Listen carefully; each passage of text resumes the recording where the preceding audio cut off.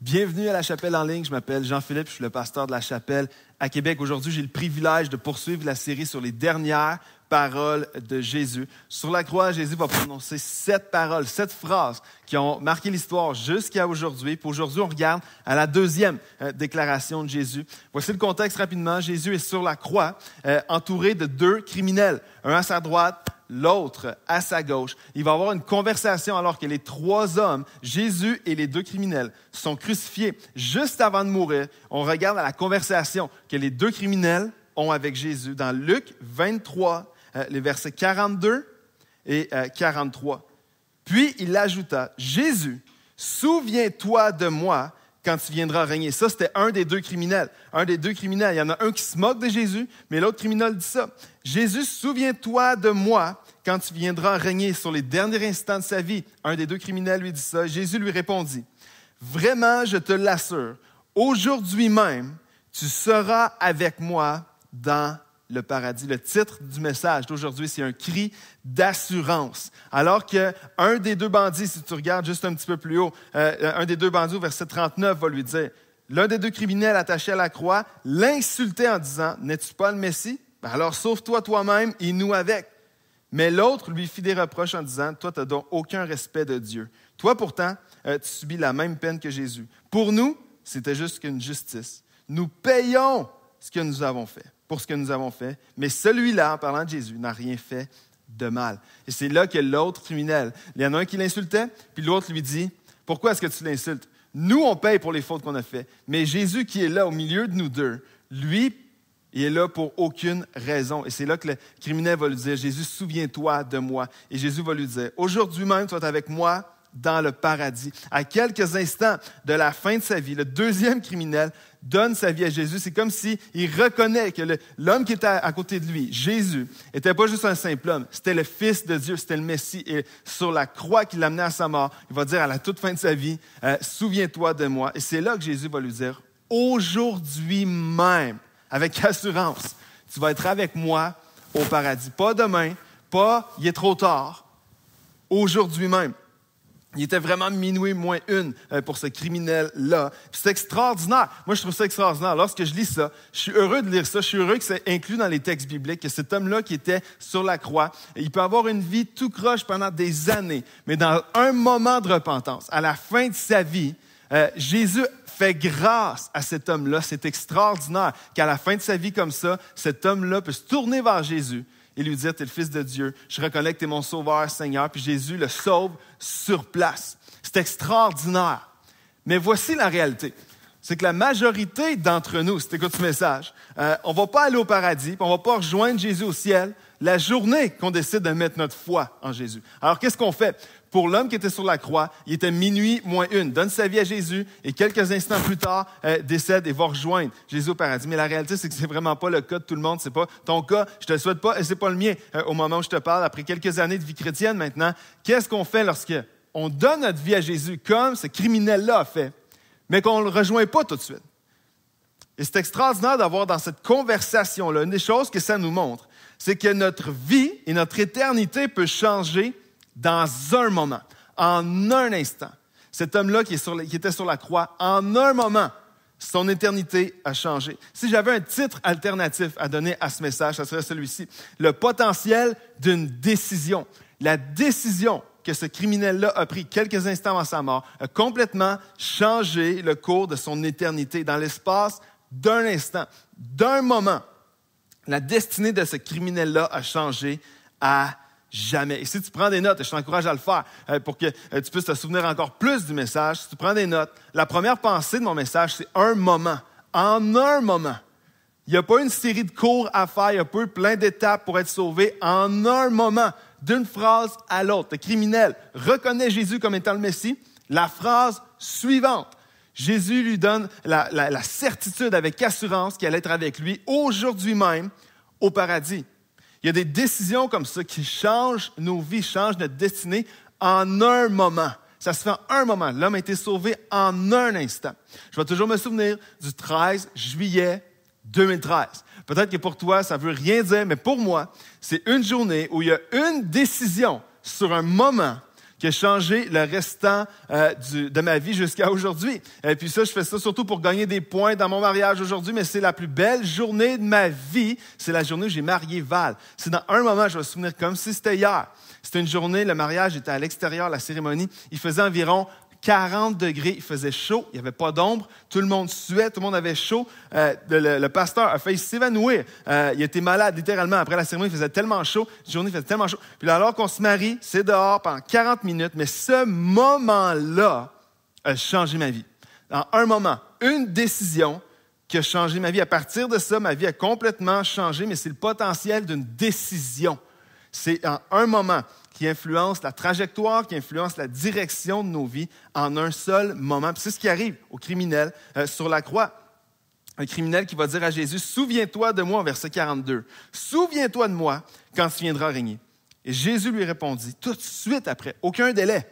Vraiment, je te l'assure, avec assurance, aujourd'hui même, tu seras avec moi dans le paradis. Le criminel reconnaît que Jésus est sauveur, le Fils de Dieu, et en un instant, Jésus lui donne l'assurance de son salut.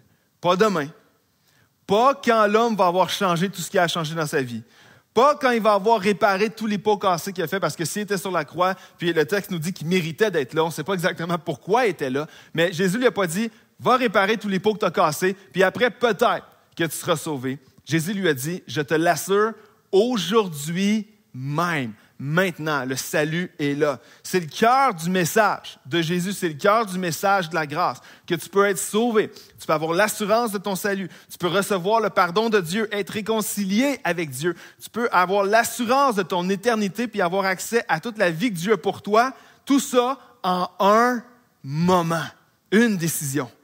Tu peux venir à lui avec toutes tes fautes, tout ce qui est brisé, tous tes péchés, toutes tes erreurs, toutes tes insécurités, tous tes doutes.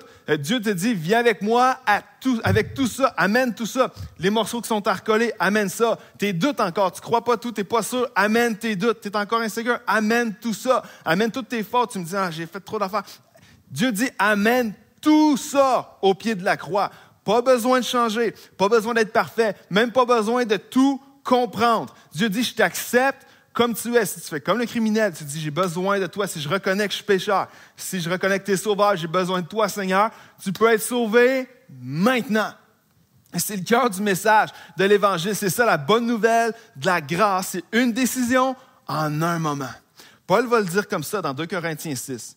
Paul, des années plus tard, va le dire dans d'autres mots qui sont tellement bons. Il va dire en effet, Dieu déclare dans l'Écriture, au moment favorable, j'ai répondu à ton appel. Et au jour du salut, je suis venu à ton secours. Or, c'est maintenant. C'est un moment, c'est là, là. C'est maintenant le moment tout à fait favorable. C'est aujourd'hui le jour du salut. C'est maintenant. Le moment favorable, c'est maintenant. C'est aujourd'hui le jour du salut. Ça veut dire quoi? Ça veut dire pas besoin d'apprendre des versets par cœur, pas besoin de connaître toute la théologie de la Trinité, pas besoin de savoir ça, pas besoin de mettre ta belle chemise pour aller à l'église, pas besoin de t'habiller propre, pas besoin de t'acheter une grosse Bible en cuir qui a l'air avec plein de commentaires, tu as l'air vraiment intelligent avec ça. C'est ce que Dieu est en train de dire, pas besoin de tout ça pour être sauvé. C'est maintenant le moment favorable, c'est aujourd'hui si tu prends la, décision de te repentir de tes fautes et de tes péchés, si tu reconnais que tu besoin d'un sauveur, d'un Seigneur, que cet homme-là, c'est Jésus-Christ qui est venu mourir pour toi, tu peux être sauvé maintenant. Et ça, c'est une bonne nouvelle. Quelqu'un devrait mettre un Amen dans les commentaires parce que c'est probablement une des meilleures nouvelles que Dieu nous a laissées. C'est que le salut, c'est en un moment, c'est en un instant. Tu peux être sauvé maintenant. C'est ça la bonne nouvelle euh, de l'Évangile. Tu peux être sauvé sur le moment le potentiel d'une décision, une décision. Le criminel, on comprendra dans l'histoire que le criminel qui était sur la croix à côté de Jésus n'a pas eu le temps de descendre de la croix pour aller réparer ce qu'il avait, cassé dans sa vie. Il n'a pas besoin, il n'a pas, eu le temps d'aller demander pardon aux autres. Il n'a pas eu le temps de changer de comportement. Il n'a même pas eu le temps de remettre de l'ordre dans sa vie. Il était sur la croix à quelques instants de mourir. Il n'a pas eu le temps de se joindre à un 5 à 7. Il n'a même pas eu le temps de lire la Bible une fois. Il n'a même pas eu le temps de se faire baptiser. Pourtant, Jésus va arriver, va lui dire, maintenant, aujourd'hui même, avec assurance, tu vas être sauvé, tu seras avec moi au paradis. C'est la beauté. C'est la beauté du message de l'Évangile que Dieu nous sauve, Dieu nous pardonne, Dieu nous accepte, Dieu nous réconcilie avec lui-même par le sacrifice de Jésus en un moment, en une seule décision. Quelqu'un devrait dire Amen à ça. Quelqu'un devrait mettre Amen. C'est la grâce de Dieu, c'est en un moment. Mais la réalité qui est encore là, puis l'envers de la médaille de ça, c'est que la plupart des gens, comme toi et moi, on va probablement pas rejoindre Jésus euh, la journée qu'on met notre foi en lui. On n'est pas comme ce criminel à quelques instants euh, de, notre mort pour aller rejoindre le Seigneur. Ce n'est pas dans ces moments-là, la plupart d'entre nous, qui allons accepter Jésus, qui allons mettre notre foi en lui.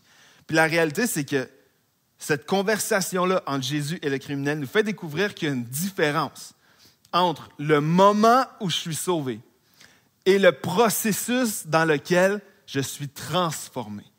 Il y a une différence. Il y a vraiment une différence entre le moment où Dieu sauve, puis de l'autre côté, le processus à travers lequel Dieu veut me changer, Dieu veut me transformer. C'est le potentiel d'une décision. C'est que la décision se prend sur un moment, mais le changement est un processus. Ça veut dire quoi? Ça veut dire que je suis sauvé en un moment, mais alors que je prends cette décision-là, je rentre dans un processus, cette décision enclenche un processus par lequel Dieu veut me transformer, puis Dieu va me changer. Si tu prends des notes, on a vu que c'est une décision, c'est un moment, mais c'est aussi un processus. La foi, c'est un moment, tu es sauvé en un moment, mais tu rentres dans un processus où tu vas être transformé. C'est le potentiel d'une décision. Je suis sauvé en un instant, mais transformé par processus. Je reprends l'exemple du mariage. Le 13 juillet 2013, c'est une journée qui est une journée de décision pour moi. J'ai un avant puis un après cette journée-là. Cette journée-là a changé la trajectoire de ma vie euh, pour toujours. C'était un moment que ma vie a complètement basculé. C'était un moment.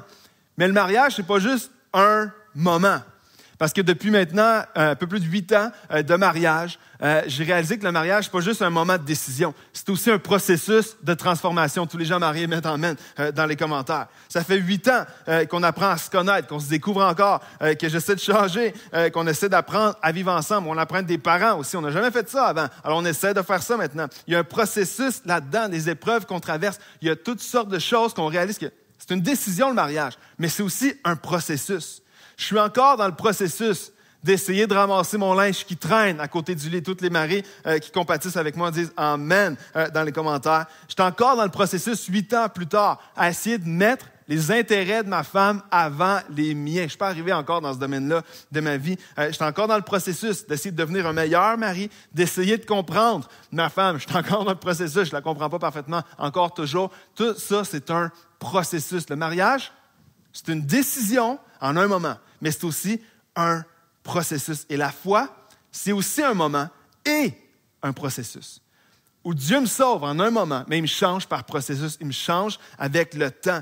Euh, je suis sauvé aujourd'hui. Il y a maintenant un peu plus de dix ans, j'ai donné ma vie à Dieu officiellement. Mais aujourd'hui, je peux, je peux te confirmer une chose. C'est une décision en un moment, mais c'est aussi un processus. Parce qu'aujourd'hui, je te dis, j'ai l'assurance de mon salut. Dieu m'a sauvé il y a une dizaine d'années lorsque j'ai mis ma foi en lui. Mais lorsque je conduis ma, voiture, laisse-moi dire une chose. Je sais que je suis encore en processus. Je suis encore en processus avec ma patience, qui est un fruit de l'esprit. Mais l'esprit n'a pas encore fini son œuvre dans ma vie parce que je ne suis pas toujours euh, le maître de la patience. Je suis encore en processus euh, dans ma générosité. Je suis sauvé, oui, mais je suis encore en processus. Je suis sauvé un instant, mais transformé par processus. Je le résumerai comme ça. Dieu t'aime comme tu es, mais il t'aime trop pour te laisser comme ça. Ça veut dire quoi, ça? Ça veut dire que Dieu t'aime comme tu es. Tu peux venir à lui avec tous les morceaux brisés de ta vie, tout ce que tu comprends pas, tous tes doutes, tous les, morceaux qui sont partout. Tu peux venir à lui comme ça. Il va te sauver comme ça. Mais il t'aime trop pour te laisser dans cet état-là. Alors Dieu t'amène dans un processus qui va être là toute ta vie euh, pour te transformer de gloire en gloire. La Bible va dire de progrès en progrès pour te transformer à l'image de Jésus. Alors que tu donnes ta vie à Dieu, tu rentres dans ce processus-là. Alors, voici ce que Dieu va commencer à faire. Dieu commence à changer ce que ton cœur désire. Ça veut dire qu'il y avait des choses que tu voulais avant de connaître Dieu, qui maintenant, Dieu va commencer à changer ces choses-là. Dieu va commencer à changer aussi tes priorités.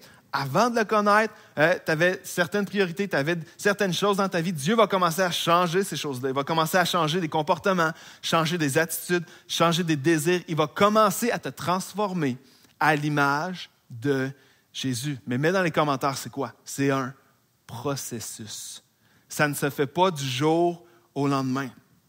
L'apôtre Paul, je suis tellement reconnaissant de la franchise de l'apôtre Paul euh, dans la Bible. les versets qu'on va lire là, ça fait plus de 20 ans hein, qu'il a consacré sa vie à Dieu. Ça fait 20 ans qu'il a eu sa rencontre avec Jésus. Puis qu'il a tourné de bord, 180 total dans sa vie, repentance, donne sa vie à Dieu, suit Dieu, bâtit l'Église, c'est un leader dans l'Église. Il va écrire ces mots-là 20 ans après qu'il a donné sa vie à Dieu. Regarde ça dans Romains 7, les versets 14, 15, 15 et suivants.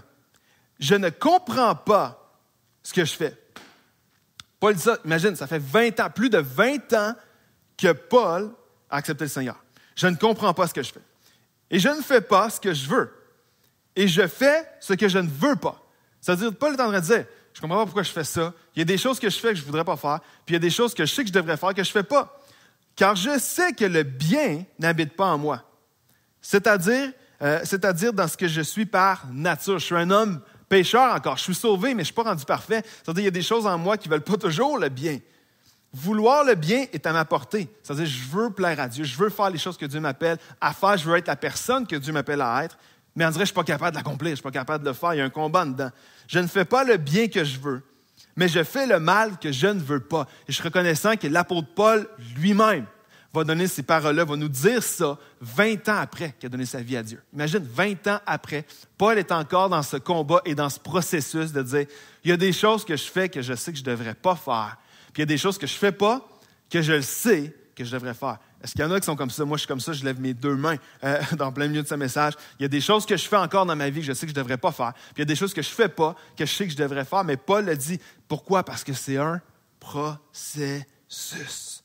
Je sais que je devrais changer certaines choses. Il y a des choses que je devrais commencer à faire que je ne commence pas. Il y a des choses que je devrais arrêter que je ne suis pas capable encore.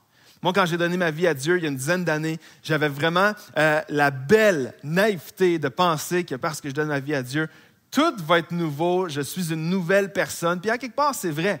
Mais à quelque part, c'est faux aussi, parce que c'est un processus. Alors, je donne ma vie à Dieu. Euh, vraiment, j'ai l'assurance de mon salut.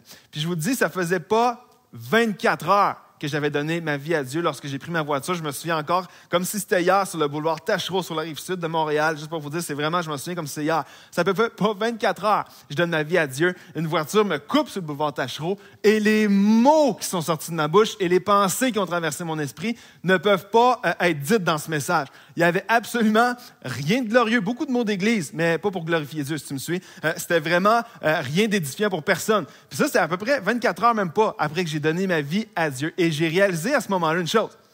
J'ai une espérance nouvelle, j'ai une vie nouvelle, j'ai un espoir nouveau pour ma vie terrestre et éternelle. Mais ma chair, Jean-Philippe Baudry, moi, là, j'étais en processus de transformation, je n'étais pas encore arrivé. La seule chose qui avait changé à ce moment-là, c'est que maintenant, je me sentais vraiment mal d'avoir dit ça, puis je me sentais vraiment mal d'avoir pensé les choses que j'ai pensées. C'est ça qui avait changé. Mais j'étais encore dans ce combat-là, j'étais encore dans le processus. Je dirais comme ça, le salut, c'est pas une ligne d'arrivée c'est un point de départ. Dans tellement de cercles chrétiens, on pense que ah, tu as donné ta vie à Dieu, maintenant l'Esprit est là, tout ce qui était fait devait être fait maintenant. Non, le salut, c'est un point de départ, ce n'est pas la ligne euh, d'arrivée. Je suis sauvé en un moment, c'est une décision. Un moment, je peux être sauvé. Mais je suis transformé par processus. Je pourrais jamais être plus aimé par Dieu, pardonné par Dieu, réconcilié avec Dieu qu'au moment où je lui donne ma vie. Je pourrais jamais être plus aimé par Dieu qu'à ce moment-là.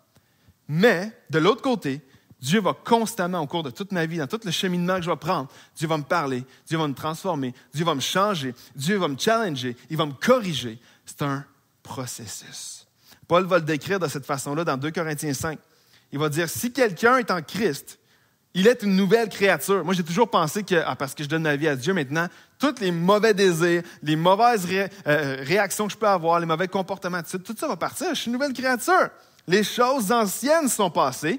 Voici toutes choses sont devenues nouvelles. Voici la révélation que j'ai eue un jour. Toutes choses sont devenues nouvelles. C'est pas écrit toutes choses sont devenues parfaites. C'est pas écrit toutes choses sont devenues complètes. C'est pas écrit maintenant toutes choses sont accomplies. C'est écrit toutes choses sont devenues nouvelles. Pas parfaites, nouvelles. J'ai une espérance qui est nouvelle. J'ai des forces qui sont nouvelles. La présence de Dieu, c'est nouveau dans ma vie. J'ai des priorités nouvelles, des désirs nouveaux, une destinée nouvelle, une assurance nouvelle. L'œuvre de, de Dieu dans ma vie est nouvelle.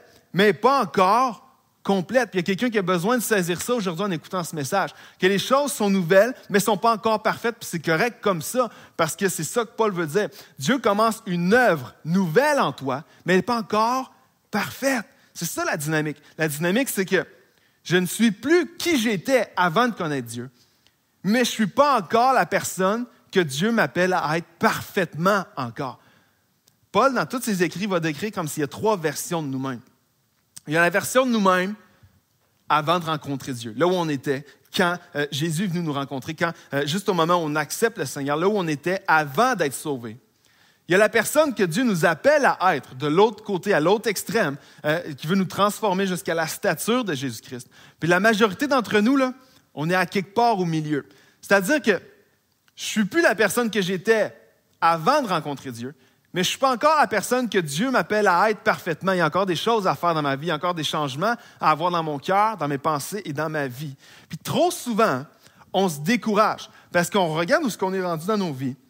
Puis on regarde la personne que Dieu m'appelle à devenir ou à être. Puis on se dit, je suis tellement loin de ça encore, je suis encore tellement pogné des mêmes affaires, j'ai les mêmes réactions dans certaines sphères de ma vie, j'ai les mêmes combats que j'avais avant, il y a certaines choses dans ma vie qui sont pas réglées, puis on se décourage parce qu'on regarde où on est rendu, on regarde la personne que Dieu nous appelle à devenir, puis on se décourage parce qu'on se dit la distance entre les deux est tellement grande, puis ça nous décourage, puis on baisse les bras, on se dit ça marche pas, je veux lâcher, on compare cette personne-là, laquelle on est présentement, qui est tellement imparfaite, puis on compare ce que Jésus nous appelle, puis on se décourage parce qu'on se dit, je ne pourrais pas y arriver. Mais je veux encourager quelqu'un aujourd'hui. Je veux encourager quelqu'un que peut-être tu dis, je struggle avec les mêmes affaires depuis longtemps. Je, sais que Dieu m'a sauvé. Mais là, je me retrouve, puis je me retrouve à des endroits dans ma vie que je pensais que ça, j'aurais fini avec, avec certains combats, certaines réactions. La même grâce qui t'a sauvé est celle qui te transforme et qui t'accompagne à chaque jour. La grâce de Dieu ne disparaît pas le jour du salut. Ça veut dire que l'amour, le pardon, la grâce que Dieu avait pour te sauver est la même grâce, le même amour, le même pardon qui t'accompagne à chaque jour. Ça veut dire quoi? Ça, ça veut dire qu'au milieu, peut-être des dépendances avec lesquelles tu combats encore, les mauvaises habitudes qui sont encore là, les échecs qui sont encore là, le manque de patience au volant, peut-être comme moi qui est encore là. La grâce de Dieu dit, j'étais là pour te sauver, je suis encore là aujourd'hui. J'ai pas disparu. La grâce de Dieu, elle est encore Elle ne disparaît pas le jour du salut. Elle nous accompagne, oui, au moment du salut, mais dans tout le processus dans lequel Dieu nous transforme. Puis Paul va dire ceci dans les derniers versets de ce message, Philippiens 1.6.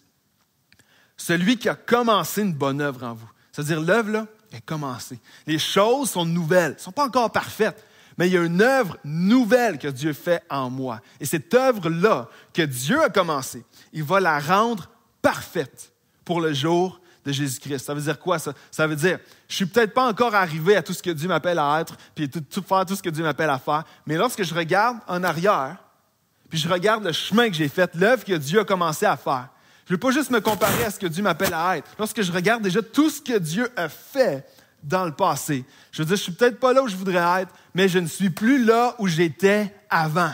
Et c'est la même grâce qui m'a sauvé, puis c'est la même grâce qui m'aide à chaque jour d'avancer, d'être transformé, de laisser Dieu me changer, de laisser Dieu me corriger. C'est la même grâce. Il y a encore plein de choses à changer dans ta vie. Bienvenue dans le club. Moi aussi. Puis même s'il y a encore plein de choses que Dieu doit changer dans nos vies, regarde en arrière aujourd'hui et dis, regarde Seigneur, merci parce que regarde comment tu m'as changé. J'ai encore plein de choses à changer, puis à te laisser me transformer. Mais regarde tout ce que tu as fait, Seigneur. Toi, tu vois juste ce qui te reste à changer, mais Dieu veut te rappeler aujourd'hui, regarde où ce que tu étais avant. Regarde tout le chemin que tu as fait. Regarde toute la transformation qu'il y a eu. Moi, je veux dire, Seigneur, merci. Parce que la même grâce que tu as eue envers moi pour me sauver alors que j'étais loin de toi, puis que je ne pensais même pas à toi, puis toi, tu es venu, es venu me sauver de là. Mais cette même grâce-là m'aide à avancer dans la transformation à chaque jour. Il y a quelques, semaines de ça, j'ai changé de, j'ai changé de téléphone. J'ai changé de téléphone, évidemment, Apple. Euh, ceux qui ont des Android, on va prier pour vous à la fin de cette, réunion. Je change de téléphone. La première chose que je fais lorsque je déballe mon nouveau téléphone, euh, le, le, téléphone me dit qu'il faut faire une mise à jour. Euh, sur, la, version euh, pour utiliser le téléphone. je fais parfait. Je, plug mon, euh, mon, téléphone pour mettre à jour, faire la mise à jour qu'il me demandait. Puis qu'est-ce que ça fait la mise à jour? Ben, ça améliore les fonctionnalités. ça met la version la plus améliorée, la plus récente. Ça corrige certaines choses qui ne marchent pas bien dans le téléphone.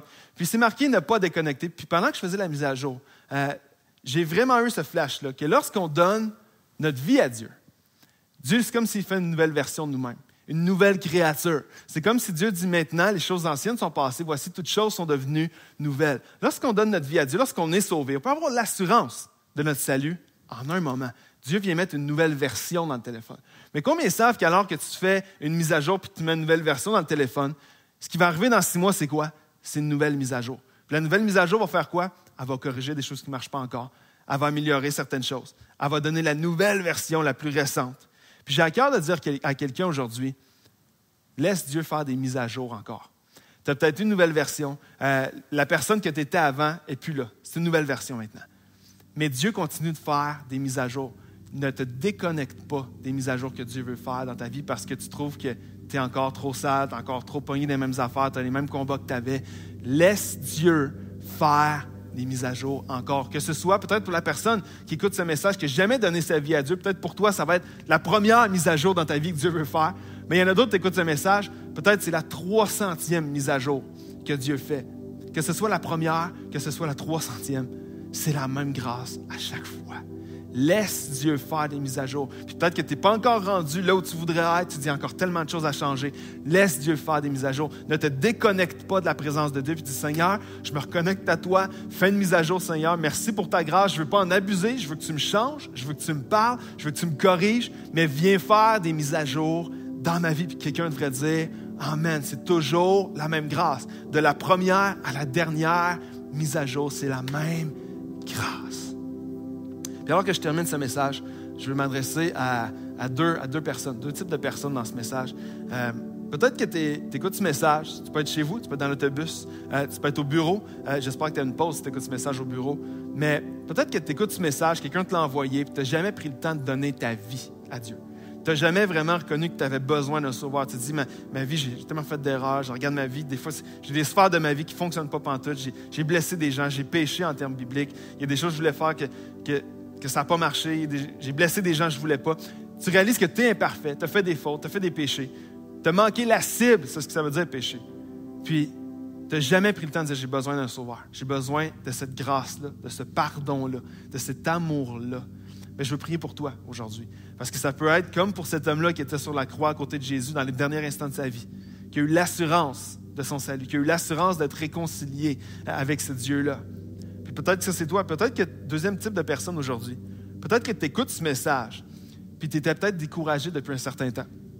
Parce que tu dis, je sais que, je sais que Dieu m'a sauvé. Je sais que je suis imparfait. Je ne peux pas me sauver moi-même. Je fais encore des fautes, des péchés, j'en fais encore. Je sais, mais Dieu m'a sauvé. Jésus a payé le prix pour moi, puis je le sais. Mais lorsque je regarde ma progression depuis des années, il y a tellement de choses avec lesquelles je lutte encore, j'ai des combats qui sont encore là, puis peut-être que tu étais découragé aujourd'hui, tu avais peut-être même baissé les bras spirituellement, puis tu dis, ça marche-tu vraiment? Euh, il y a des choses que je pensais que j'arrêterais de combattre ça, puis tu encore là-dedans. Puis je veux m'adresser à toi aussi aujourd'hui de dire la même grâce qui t'a sauvé il y a peut-être des années.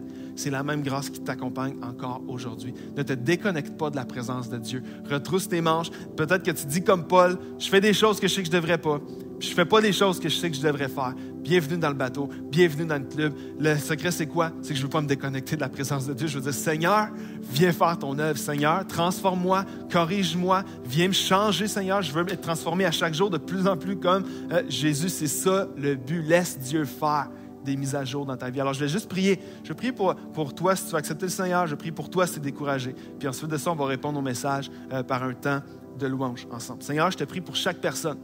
Euh, au son de ma voix, de l'autre côté de leur écran. Peut-être qu'il y en a qui n'ont jamais pris euh, la décision de dire aujourd'hui, je reconnais mes fautes, je reconnais mes péchés, je reconnais que je ne peux pas me sauver moi-même, je suis brisé, euh, je ne peux pas me sauver par moi-même, j'ai besoin d'un sauveur. Ce sauveur, c'est Jésus-Christ qui est venu sur la croix, qui a vécu une vie sans péché, qui a pris sur ses épaules mes fautes, mes péchés, mes erreurs, tout ce que moi j'ai brisé il l'a porté puis il a payé une fois pour tout. Puis peut-être qu'aujourd'hui, euh, aujourd'hui, c'est le temps pour toi de dire ça, c'est moi, ça. Ça, c'est moi. Puis je t'invite à nous écrire si tu prends la décision. La Bible dit que si tu confesses de ta bouche et si tu crois dans ton cœur que Jésus-Christ est le Fils de Dieu et que Dieu l'a ressuscité des morts, tu vas être sauvé. Et ça, c'est maintenant, en un moment. Si c'est ton cas, je t'invite à nous écrire, à nous le dire. Prends la décision aujourd'hui devant ton écran de dire Seigneur, je te donne ma vie. Seigneur, je reconnais mon besoin de toi. Seigneur, je reconnais que je ne peux pas me sauver moi-même. Je mets ma foi, même si j'ai plein de doutes encore, je mets ma foi en toi. Je veux croire que tu as payé le prix pour moi. Seigneur, je te prie pour chaque personne qui sont de l'autre côté de leur écran, qui t'ont déjà donné leur vie, mais qui luttent avec le découragement, euh, spirituel, de dire, il y a encore tellement de choses dans ma vie qui ne sont pas parfaites, que Dieu n'a pas encore changé. Seigneur, je te prie que tu viennes les encourager. Viens faire d'autres mises à jour dans leur vie. Continue de les transformer. Aujourd'hui, je te prie pour ceux qui étaient découragés. Seigneur, relève-les, que ton esprit vienne les fortifier, Seigneur, que ton esprit relève leur tête et puis qu'ils puissent marcher comme Paul, bien, de façon bien imparfaite. Mais Seigneur, avec un cœur sincère devant toi, dire Seigneur, change-nous, continue de nous transformer, qu'on soit de plus en plus transformés à ton image. Seigneur, c'est notre prière je te prie dans le nom de Jésus. Amen et Amen. La chapelle est là pour t'accompagner dans ton cheminement spirituel. Que tu aies pris une décision pour Dieu aujourd'hui ou tu as envie d'en savoir plus. Il y a toutes sortes de ressources sur notre site web, sur notre application. Alors je t'invite à aller faire un tour, puis on se voit bientôt.